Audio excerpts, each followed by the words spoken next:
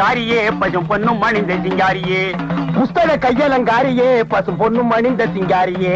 விட்ட கதை தன்னை பாடவே வந்து சித்தங்காளி புட்டு தாயேனி விட்ட கதை தன்னை பாடவே வந்து சித்தங்காளி புட்டு தாயேனி பூர்வீகமாவே நமக்கு இதான் தொழிலா? ஆமாண்டா எங்க அப்பன் பாட்டன் முப்பாட்டங்காலத்துல இருந்து ஒரு முடுக்க ஒரு பம்ப அதே பாட்டு. இதுதான் நமக்கு பரம்பரை சொத்தா? அட பாவிங்களா என்னையாவது படிக்க வச்சிருக்க கூடாதா என்னையும் அரை வயித்து கஞ்சிக்கும் கால் வயித்து கஞ்சிக்கும் ஆலய வச்சிட்டீங்களே? அது வந்துடா மகனே. நம்ம ஊர் வடக்கு தெருல ஒரு பெரிய வேப்பமரம் இருந்தது. அதுல நாலு பேய் இருந்தது. அதை வச்சு நம்ம பழப்பு ஓடிக்கிட்டு இருந்தது. போன வருஷம் அடிச்ச புயல்ல அந்த வேப்பமரம் சாஞ்சுதா? நம்ம பழப்பும் போச்சு. இப்ப நாடு இருக்கிற நிலைமையில ஒவ்வொரு குடும்பமும் ஃபேக்டரியை நம்பி வாழணும். நம்ம குடும்பம் மட்டும் பேய நம்பி வாழுது. நல்ல குடும்பம் பா நம்ம குடும்பம். பொன்னம்பலம். எப்பா மாட்டிக்கிட்டான் இன்னைக்கு சோறு தின்றலாம். யாருக்கு பேய் பிடிச்சிருக்கு? பேய் பிடிக்கலைங்க. பின்ன சொரிசரங்க பிடிச்சிருக்கா? ஆஹா, சும்மா இருக்கீங்களான்னு பாத்துட்டு போலான்னு வந்தேன். சும்மா இல்ல குடுக்கையோட இருக்கும். டேய் இப்ப சொல்றேன் வைத்தியர் வீட்டுக்கு போனா நோயோட போகணும். எங்கள மாதிரி பூசாரி வீட்டுக்கு போனா பேயோட போகணும். நாங்க பேய் ஓட்டி ரொம்ப நாள் ஆச்சு. அப்பா இவரை ஓட்டுப்பா. புத்தக கையலங்காரியே பசும் பொண்ணும் மனித சிங்காரியே. ஆமா, புத்தக கையலங்காரியே பசும் பொண்ணும் மனித சிங்காரியே. கும்பிடுறங்க என்னடா கொள்ளக்காரனை கூப்பிடுற மாதிரி கூப்பிடுற? ஏன் ஒரு மாதிரியா இருக்கீங்க? பின்ன என்ன? ஆட்டை வாங்குறேன் மாட்டை வாங்குறேன்னு பேங்க்ல கடனை வாங்கிட்டு கடைசியில என் உயிரை வாங்குறானுங்க. நீ எதை வாங்க வந்திருக்க? உங்க பேங்க்ல ரெண்டு லட்சம் போட்டா எவ்வளவு வட்டி கிடைக்கும் ரெண்டு லட்சமா?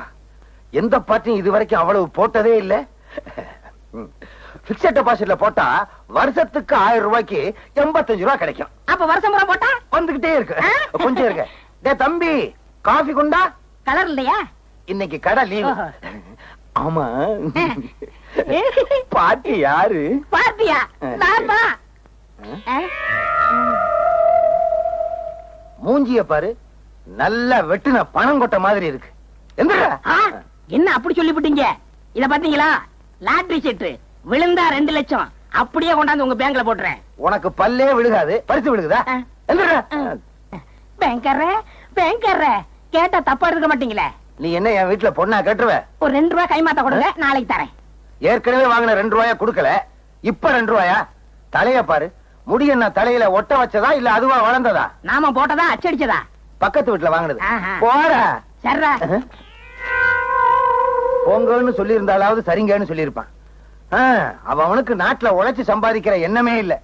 ஆளுக்கு ஒரு லாட்டரி சீட்டை வாங்கி வச்சுக்கிட்டு அதிர்ஷ்டத்தை நம்பிக்கிட்டு இருக்கானுங்க. கடன் தொலைலிருந்து தப்பிக்க எங்க அப்பா அந்த கல்லு வெட்டி கிழவனுக்கு என்ன கட்டி வைக்க பாக்குறாரு.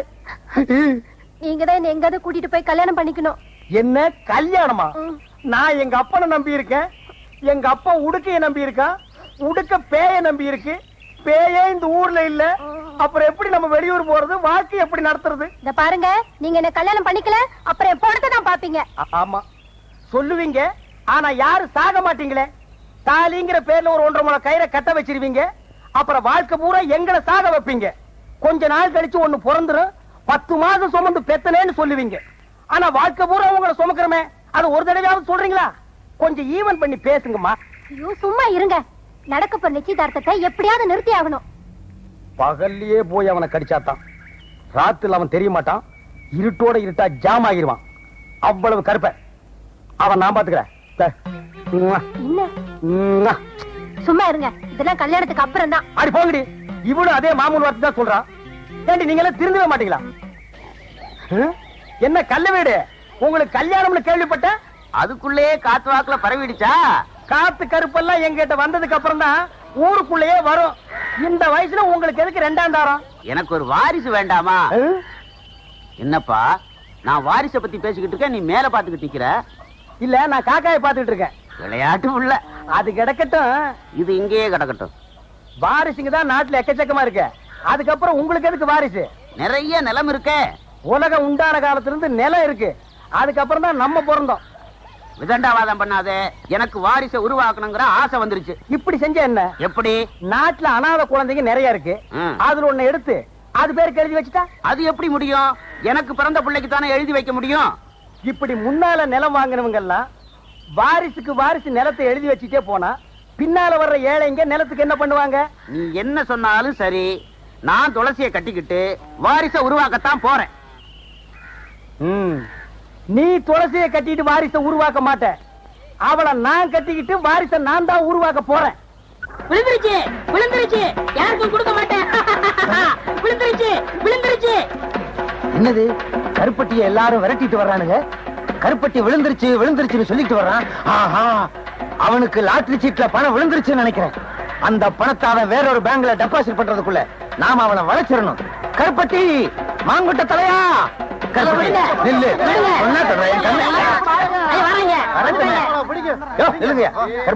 இந்த பசங்களுக்கா நீ ஏன் இப்படி பயந்து ஓடி வந்துகிட்டு இருக்க? எனக்கு லாட்டரி சீட்ல பணம் விழுந்திருக்கு. அப்படியா? ஏயா கருப்பட்டி இப்படி விரட்டி வந்துகிட்டே இருக்கீங்க நீங்க? எனக்கு இருபத்தெட்டு ரூபாய் தரணும். எவ்வளவு கொடுக்கணும்? பத்தொன்பது ரூபாய் எனக்கு தரணுங்க அந்த உனக்கு எவ்வளவு? எனக்கு ஏழு ரூபா தானே உனக்கு எவ்வளவு? இருபது ரூபா தரணும். இருபத்தெட்டு ரூபாய் எனக்கு தர்றேங்க ஆக மொத்தம்? உள்ளூர்ல மட்டும் ஒரு ஐயாயிரம் ரூபாய் பாக்கி இருக்கும் இனிமே கருப்பட்டி கொடுக்க வேண்டிய கடனுக்கெல்லாம் நான் பொறுப்பு. இன்னொரு தடவை சொல்லிருங்க. இனிமே கருப்பட்டி கொடுக்க வேண்டிய கடனுக்கெல்லாம் நான் பொறுப்பு. நீங்க யாரும் அவன்கிட்ட கேட்க கூடாது கேட்க கூடாது கேட்டுக்கங்கய்யா உங்களுக்கும் எனக்கு சம்பந்தம் இல்ல. நீங்க வாங்க சார். கருப்பட்டி உன்னை பேங்க்ல தப்பா பேசிட்டேன். தவறா நினைக்காத. பழைய வசனம் தான் இருந்தாலும் சொல்றேன். இது உன் கையில காலா நினைச்சு கேக்குறேன். என்ன மன்னிச்சுக்க. ஆமா பணம் உனக்கு எவ்வளவு விழுந்துச்சு? இங்க பாருங்க. எங்க? அப்படியே பாத்துக்கிட்டே வாங்க. எங்க? இங்க பாருங்க. எங்க? குனிஞ்சு பாருங்க. எங்க? கடைசியில ரெண்டு நம்பர் பத்து ரூபா விழுந்திருக்கு. ஐயோ உன்னை நம்பி நான் அவனுகிட்ட ஐயாயிரம் ரூபாய்க்கு நான் பொறுப்படுத்திட்டேனே இப்ப என்ன பண்றது? அந்த பக்கம் போனா என்ன பின்னீர்வாங்களே பின்னி. Manager sir manager sir. என்ன? ஒரு பத்து ரூபா கைமாத்த கொடுங்க. நான் சமாளிச்சுக்கிறேன். சமாளிச்சுக்கியா? இந்த இந்தப்பா நீ என்ன பண்ணுவியோ ஏது பண்ணுவியோ எனக்கு தெரியாது. எப்படியாவது அவங்கள சமாளி. நான் இந்த பக்கம் போயிடுறேன். அவனுங்க கிட்ட சொல்லாத. இந்தா. யோ இங்க வாங்க ஐயா. விழுந்த பணத்துல பத்து ரூபா தடவை எல்லாவற்றையும் கொடுத்துட்டேன் விடாதீங்க. விடுங்கய்யா. ஐயோ நம்மள விரட்டிட்டு வர்றாங்களே. ஆ? விடாதீங்கய்யா ஐயோ விடாதீங்க. புண்ணாக்கு தலையன் காசையும் வாங்கிக்கிட்டு நம்மள காட்டி கொடுத்தாரு விடாதீங்க. பூசாரி ஐயா பூசாரி ஐயா. ஏன்டா கருப்பட்டி என்ன விஷயம்? பிச்சை மக துளசிக்கு பேய் பிடிச்சிருக்கான். உங்களை ஆயுதத்தோட வர சொன்னாங்க. ஆயுதத்தோடனா நாங்க என்ன லேத்து பட்டறையா வச்சு நடத்துறோம்? ஒரு பேச்சுக்கு சொன்னேன் பேச்சுக்கெல்லாம் சொல்லக்கூடாது. பாத்தியத்துக்கு ஒரு மரியாதை கொடுக்கணும். பம்பே உடுக்கன்னு சொல்லு. பூபதி என்ன பூபதி என்ன கிட்ட தரட உட்காந்துருக்கேன் கேட்டா தப்பா எடுக்க மாட்டீங்களே? தப்பா கேட்காத. இந்த விஷயத்தை வந்து சொன்னல ஒரு ரெண்டு ரூபா கைமாத்தா கொடுங்க நாளைக்கு தரேன். ரெண்டு ரூபாயா? நிலைமை புரியாம பேசாத. அப்பனும் மகனும் சேர்ந்து அடிச்சாவே ரெண்டே கால் தான் கிடைக்குது. இதுல ரெண்டு ரூபா உனக்கு கைமாத்தா? ஏற்கனவே உன் மண்டை உடுக்க மாதிரி தான் இருக்கு. ஓங்கி அடிச்சேன்னா தோல் பிச்சுக்கு. தோல் வேணா ஓடி போயிரு. அப்பா ரொம்ப நாளைக்கு அப்புறம் இந்த ஊர்ல ஒரு பொண்ணுக்காச்சும் பேய் பிடிச்சத. இத வச்சே நாற்பது நாள் ஓட்டிடுறோம் வாடா. ம், ஏமாந்தா நீ நானூறு நாள் கூட ஓட்டுவ. துளசிக்கு பேய் பிடிக்க வச்சதே நான் அது புரியாம புலம்பிட்டு போறான் பாரு. புஸ்தக கையலங்காரியே பண்ணு பொண்ணு மடிந்த சிங்காரியே. புஸ்தக கையலங்காரியே பண்ணு பொண்ணு மடிந்த சிங்காரியே. இவ மேல இருப்பவ யாருன்னே எனக்கு இப்பவே சொல்ல தாயனி இவ மேல இருப்பவ யாருன்னே எனக்கு இப்பவே சொல்ல தாயனி ஏய் யார் நீ?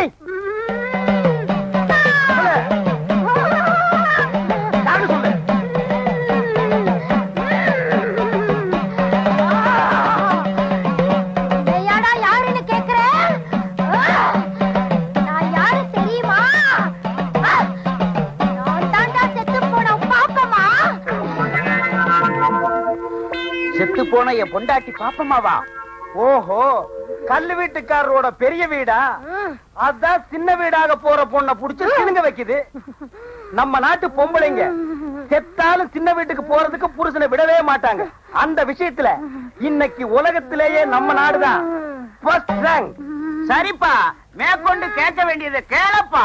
தாயே நீ பாட்டுக்கு அவர் அம்போன்னு விட்டுட்டு போயிட்ட.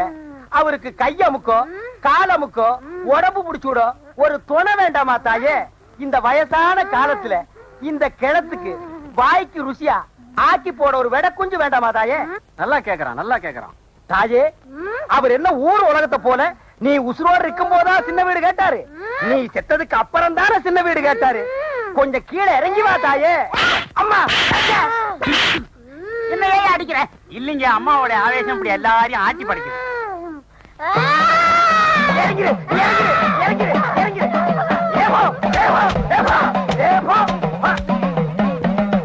விட்டுடுங்க. விட்டுடுங்க மலையேறி போச்சு. அதுக்குள்ளே மலையேறிடுச்சு. அதானே? ஊட்டி கொடைக்கானல் மலை கூட கார்ல ஏறினாலே நாலஞ்சு மணி நேரம் ஆகுது. அவ்வளவு சீக்கிரமா ஏறிடுச்சு. அதுதான்டா பேய்ங்கிறது. பேய் ஏறலாம் இது? நான் எதுக்கு வந்திருக்கேன் தெரியுமா? எங்க அப்பனுக்கு நூறு ரூபா கொடுக்க. எப்பவும் விளையாட்டு தான் பேய் விரட்டுறது இருக்கட்டும். அந்த பொண்ணு சாந்தமா இருக்கும்போது என் அருமை பெருமைகளை எடுத்து சொல்லு. ஆள் கருப்பு தான் அதனால என்ன? அமாவாசை வர்றது இல்லையா அது மாதிரி நினைச்சுக்கிட்டோம் கருப்பா இருந்தாலும் மனசு வெள்ளைன்னு சொல்லு. சொல்லு. நீ சொல்லு. சரி சொல்றேன். இந்த இதை வச்சுக்கோ. ஏங்க அல்வா வாங்கி கொடுத்து அனுப்புங்க. நூறு ரூபாய் கொடுத்துருக்கேன்ல. அட எனக்கு இல்லைங்க. அந்த பொண்ணுக்கு சொல்ற விஷயத்த ஸ்வீட்டா சொன்னா பட்டுன்னு பிடிக்கும். துளசிக்கா. ஒரு கிலோ அல்வா வாங்கி கொடுத்து அனுப்புறேன் அனுப்புடா. பரவாயில்ல பரவாயில்ல. சரிடா. நீ போங்க நான் உளறிடுவேன். பாரு எருமை தண்ணி கலைஞ்ச மாதிரி இவன் பொண்ணு கலையறத. அல்வாவா வாங்கி கொடுத்து அனுப்புற? இருடா உனக்கு நான் கொடுக்கிற அல்வா. அதுவும் திருநெல்வேலி அல்வா. துளசி பூபதி உள்ளதான் இருக்கான். அவன் என்ன சொன்னாலும் அதுபடி கேட்டு நடந்துக்க. சத்திய வாக்கு படைச்சவன்? போறியா? சரிங்க. போ போ. ம். வா துளசி. வந்துட்டேன். வா. அட உட்காரு. என்ன சொன்ன அந்த தாரிடப்பா அவர் சொன்னாரு நீங்க என்ன சொன்னாலும் அப்படியே கேட்டு நடக்க சொன்னாரு. சொன்னானா? ம் சொன்னாரு. நீங்க என்ன சொல்ல போறீங்க? கிட்ட வாய! அடச்சி இது ஒரு வில்லன் மாதிரி. ஐயோ, சும்மா இருங்க நீங்க. சும்மா இருமா காசு கொடுத்துட்டு போயிருக்கான் அதுலயே காதல் பண்ணுவான் ம். அல்வா வேற வரப்போகுது அது பின்னால. ஏங்க நீங்க? அலையாதீங்க. அட அலையிலமா காது எங்க இருக்கு? இங்க இருக்கு. இனிமே நீ பேயாடும் போது என்ன நான் சொல்றது? அப்படியே நடக்கிறேன். எப்படி? கேளு தாயே உனக்கு என்னென்ன வேணும் கேளு. எது கொடுத்தா நீ மலையேறுவ? ஏய், கேட்டதெல்லாம் குடுப்பியா? கொடுப்பாரு தாயே. கல்லு வீட்டு கருப்பையா ரொம்ப தங்கமானவரு. அவர்கிட்ட இல்லைன்னாலும் அடுத்த வீட்டுல திருடியாவது கொடுப்பாரு. திருடுவீங்கல்ல? கேளு தாயே. எவர் சில்வர் அண்டா வேணும்? எவர் சில்வர் குண்டா வேணும்? ஆஹா. குடும்பம் நடத்துற அளவுக்கு எவர் சில்வர் பாத்திரம் எல்லாம் வேணும்? ஐயோ அப்படி கேளு. அவன் ஏ, ஜோரா ஏ, கேளு கேளு இன்னும் பேய் என் சர்வீஸ்ல எவ்வளவோ பேய ஓட்டிருக்கிறேன். இப்படி எவர் சில்வர் பாத்திரம் கேட்ட பேய பார்த்ததே இல்ல. உன்னை கூட கூட்டிட்டு வந்ததே தப்பா போச்சு. உன் காலத்து பேய் ஒண்ணுமே கேட்காது. இது லேட்டஸ்ட் பேய். எவர் சில்வர் பாத்திரம் கேட்கும் மிக்ஸி கேட்கும் கிரைண்டர் கேட்கும் பிரஷர் குக்கர் கேட்கும் முடிஞ்சா டிஜிபில தவணை முறையில கலர் டிவியை இது கேட்டு வாங்கிட்டு போயிடும் டிவி இவன் கட்டுவான். இன்னும் கேளு. ஏய், ஏதாவது கேளு. ஏய், அப்படி ஆ. என்ன கல்லு வீட்டுக்காரர் கண் கலங்குறாரு? எவர் சில்வர் கடைக்கு கூட்டிட்டு போங்க கூட்டிட்டு போங்கன்னு சொன்னா நான் தான் எதையும் வாங்கி கொடுக்காம ஏமாத்திட்டேன். யார? செத்து போனாலே என் முத தாரத்தை அத அப்படியே ஞாபகம் வச்சிருந்து இப்ப கேக்குறாளே. பின்ன கேட்காதா? ஆசை நிறைவேறாம செத்து போற எந்த பொம்பளையா இருந்தாலும் ஆவியா வந்தாவது கேட்பாங்க. நீ வாங்கி கொடுத்துறதா? மரியாதை நீ கேளுதாயே? சிவப்பு கல்லு அட்டியிலு குடுக்கறியா? இருக்கு தாயே வச்சிருக்க. கொடுத்துறேன் திமிக்க மாட்டல எல்லாமே உனக்கு தான் எல்லாத்தையும் சொன்னேன். தீபாவளிக்கு நான் போட்ட வைர மூக்குத்தி அப்படியே வச்சிருக்கிறேனே. நானா விடுவேன் கடைசியில கேட்கலான்னு இருந்தேன். கண்டிப்பா குடுத்துறேன்? கண்டிப்பா கொடுத்துறேன் அஜகுமாலா ம். கேளு தாயே இவர் ஒரு தாறு பூசுன தங்க கட்டி வெள்ளை உள்ளம். போற போக்குல எல்லாத்தையும் எடுத்து கொடுத்துருவாரு போல இருக்கு. நான் கேட்ட பட்டு புடவை பாத்திரம் நகை நட்டு கட்லு மெத்த எல்லாத்தையும் ஒரு வண்டியில வச்சு கட்டி என்ன இந்த ஊர் எல்லையில கொண்டு வந்து விட சொல்லு. வண்டியை யார் ஓட்டுறது தாயே? நீதான் ஓட்டணும். ஏன்? வேற யாராவது வந்தாங்கன்னா அவங்க அதே இடத்துல ரத்தம் கக்கி சாவாங்க. ஓ ஐயா யாராவது வண்டி ஓட்டுறீங்களா? வேண்டாம் பூபதி. இது கேட்டதெல்லாம் நான் கட்டி தர்றேன். நீயே எல்லையை தாண்டி கொண்டு போய் விட்டுரு. சரி தாயே மலை ஏறுறியா மலை ஏறு. ஆ. மலை ஏறு.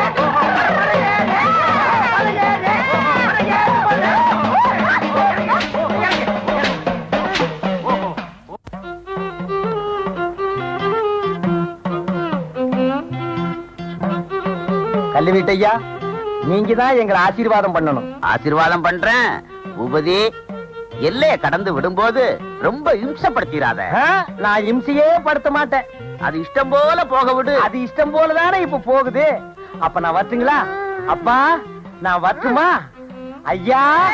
ஓ. சீக்கிரம் வா. டேய் கூப்பிடுங்கய்யா. வர்றேன். ஐயா நான் வர்றேன். வர்றேன். போ தாயி. போ. வண்டியில ஏறு தாயி. ஏறு தாய். அப்பா. பின்னால வந்தீங்க? ரத்தம் கட்டி சாவீங்க. ஐயா வர்றையா அம்மா வர்றம்மா. போலாமா தாயே? தாயே. நீ அங்க வாடி. பொன்னம்பலம் ஐயா உன்னை போல கோழை இல்லையா அவன் மகன்? உயிருக்கு துணிஞ்சு போறாயா? அவன் இப்ப தொழில நல்லா கத்துக்கிட்டாங்க. அவன் தாயா மனுஷன். யோ பொன்னம்பலம். ஐயா. எல்லையை தாண்டி விட்டுட்டு வரேன்னு சொன்னானே உன் மகன். மூணு நாள் ஆச்சு இது வரைக்கும் ஆளையே காணோம். நம்ம ஊர் எல்லையை சொன்னானா நம்ம நாட்டு எல்லையவே சொன்னானா ஐயா? அதுதான் எனக்கும் தெரியல கல்லூடு. கல்லூட்டுக்காரன் கல்லூட்டுக்காரன் என்னடா கருப்டி? உங்களுக்கு ஒரு விஷயம் தெரியுமா? என்ன? சொன்னா ரெண்டு ரூபா கொடுக்கணும். சொல்றா தர்றேன். பூபதியும் துளசியும் நீங்க கொடுத்த சீதனத்தோட அந்தியூர்ல குடும்பம் நடத்துறாங்க. முதலரும் முடிஞ்சு போச்சு. அந்தியூர் பஞ்சாயத்து அவங்களுக்கு பலத்த பாதுகாப்பு. யாராவது போனீங்க உங்க தலை தப்பாது. பண்ணமுறான் உன் மகன் என்ன மட்டும் ஏமாத்தல. இந்த ஊர் ஜாதி கட்டுப்பாட்டே மீறி அந்த பொண்ணை கூட்டிக்கிட்டு ஓடி இருக்கிறான். இப்பவே பஞ்சாயத்தை கூட்டி அவனை என்ன செய்யறான் பாரு. கல்லு விட்டுக்கார கல்லு விட்டுக்கார என்னடா? கேட்டா தப்பா எடுக்க மாட்டீங்களே. அவங்க ரெண்டு பேருக்கு குழந்தை பிறந்தா. என்ன பேர் வைக்கலாம்? சிறப்போடு வைக்கிறது. பயல. நான் எல்லாத்தையும் பறி கொடுத்து நிக்கிறேன். பேரு பேரு.